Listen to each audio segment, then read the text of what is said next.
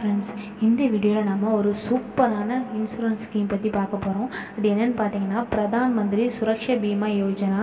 இந்த scheme apply பண்ணுறது மூலமாக நமக்கு என்ன யூஸ்னு பார்த்தீங்கன்னா ஏதாவது விபத்து ஏற்பட்டாலோ இல்லை சில உறுப்புகள் நமக்கு செயல்படாமல் இருந்தாலோ நம்ம ஃபேமிலிக்கு ரெண்டு லட்சம் ரூபா வரைக்கும் க்ளைம் பண்ணி கொடுக்குறாங்க. இந்த ஸ்கீம் பற்றி டீட்டெயிலாக இந்த வீடியோவில் பார்க்கலாம். அதுக்கு முன்னாடி நம்ம சேனல் நீங்கள் இன்னும் சப்ஸ்கிரைப் பண்ணலைன்னா சப்ஸ்கிரைப் பண்ணிக்கோங்க. பக்கத்தில் பெல் பட்டனை கிளிக் பண்ணி ஆல் செலக்ட் பண்ணிக்கோங்க. அப்போ தான் நான் போடுற வீடியோஸ்லாம் உங்களுக்கு நோட்டிஃபிகேஷனாக டிஸ்ப்ளே ஆகும். ஃப்ரெண்ட்ஸ் இன்சூரன்ஸ்னாலே நமக்கு ஞாபகம் வர்றது எல்ஐசி தான்.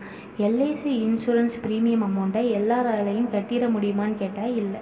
ஏன்னு பார்த்தீங்கன்னா வருஷத்துக்கே ஏழாயிரம் எட்டாயிரம்னு வரும். இதில் மிடில் கிளாஸ் ஃபேமிலி பார்த்தீங்கன்னா செட்டே ஆகாது. இதில் கொஞ்சம் பேர் இருப்பாங்க. எனக்கெல்லாம் என்ன மச்சி வரப்போகுது? அதெல்லாம் ஒன்றும் ஆகாது. நான்லாம் ஃபேமிலி அப்படி பார்த்துக்குவேன் அப்படின்னு கொஞ்சம் பேர் அலட்சியமாகவே இருப்பாங்க. ஆனால் நம்ம லைஃப்பில் இன்சூரன்ஸ் ரொம்ப இம்பார்ட்டண்டான ஒன்று அப்படிப்பட்ட இன்சூரன்ஸ் ஒரு வருஷத்துக்கு பன்னிரெண்டு ரூபா கெட்டது மூலமாக நம்மளுக்கு ரெண்டு லட்ச ரூபா வரைக்கும் இன்சூரன்ஸ் கிளைம் ஆகுதுன்னா நம்ப முடியுதா? அதுதான் இந்த பிரதான் மந்திரி சுரக்ஷா பீமா யோஜனா திட்டம். இந்த மாதிரி ப்ரைவேட்டில் இன்சூரன்ஸ் அமௌண்ட் அதிகமாக கட்டணும். அதனால் பீப்புள்ஸ் யாரும் கட்ட மாட்டேங்கிறாங்க அப்படிங்கிறதுக்காக கவர்மெண்ட் கொண்டு வந்த ஸ்கீம் தான் இந்த ஆக்சிடெண்ட் இன்சூரன்ஸ் ஸ்கீம் இந்த ஸ்கீமில் தான் நீங்கள் வருஷத்துக்கு பன்னிரெண்டு ரூபா அதாவது ஒரு மாதத்துக்கு ஒரு ரூபா தான். வருஷத்துக்கு பன்னிரெண்டு ரூபான்னு சொல்கிறது ஒரு பெரிய அமௌண்ட் கிடையாது. வருஷத்துக்கு பன்னெண்டு ரூபா கட்டினா போதும். இப்போ பார்த்தீங்கன்னா ஒரு ஆக்சிடெண்ட்டில் திடீர்னு நீங்கள் இறந்துட்டீங்க. இல்லை உங்களுக்கு பெரிய இன்ஜுரி ஆகிட்டு கை கால் செயல்படாமல் போயிடுச்சு ஒரு கண் செயல்படாமல் போயிடுச்சு இப்படிங்கிற சுச்சுவேஷனில் வந்து உங்கள் ஃபேமிலி மெம்பர்ஸ் வந்து ஒரு லட்ச ரூபாலேருந்து ரெண்டு லட்ச ரூபா வரைக்கும் கிளைம் பண்ணி வாங்கிக்கிட முடியும். இதோட கண்டிஷன் என்னன்னு பார்த்தீங்கன்னா உங்களோட வயசு வந்து பதினெட்டுலேருந்து எழுபதுக்குள்ளே இருக்கணும். அப்புறம் உங்ககிட்ட ஒரு சேவிங் பேங்க் அக்கௌண்ட் இருக்கணும். அப்புறம் ஒரு ஆதார் கார்டு இருக்கணும். இவெல்லாம் இருந்தாலே நீங்கள் இந்த ஸ்கீமை வந்து அப்ளை பண்ண முடியும். அப்புறம் ஆட்டோமேட்டிக்காக உங்களுக்கு வருஷம் வருஷம் மே மாதம் உங்கள் அக்கௌண்ட்லேருந்து பணத்தை அவங்களே டெபிட் பண்ணுவாங்க. எழுபது வயசு வரைக்கும் தான் இந்த ஸ்கீம் வந்து அப்ரூவலில் இருக்கும். அதுக்கப்புறம் ஆட்டோமேட்டிக்காக இந்த ஸ்கீம் வந்து க்ளோஸ் ஆயிரும் உங்கள் அக்கௌண்ட்லேருந்து நீங்கள் இப்போ நினைக்கலாம் அப்போ நம்ம பணம் ஃபுல்லாக ஐம்பது தானா அப்படின்னு. ஒரு பன்னெண்டு ரூபா ஒரு வருஷத்துக்குறது பெரிய விஷயாது ஒரு டீ வாங்குகிற மணியை தான் நம்ம ஒரு வருஷத்துக்கு இன்சூரன்ஸ் மணியாகவே வந்து கட்டுறோம். இப்போது உங்களுக்கெல்லாம் ஒரு கொஸ்டின் வரும். ஏய் பன்னெண்டு ரூபா தானே? ஜுஜிபி மேட்ரு என்கிட்ட ஏகப்பட்ட அக்கௌண்ட் இருக்குது அப்போ நான் எல்லா அக்கௌண்ட்லேயும் இந்த ஸ்கீமை வந்து அப்ளை பண்ணலாமா? அப்படி மட்டும் பண்ண முடியாது.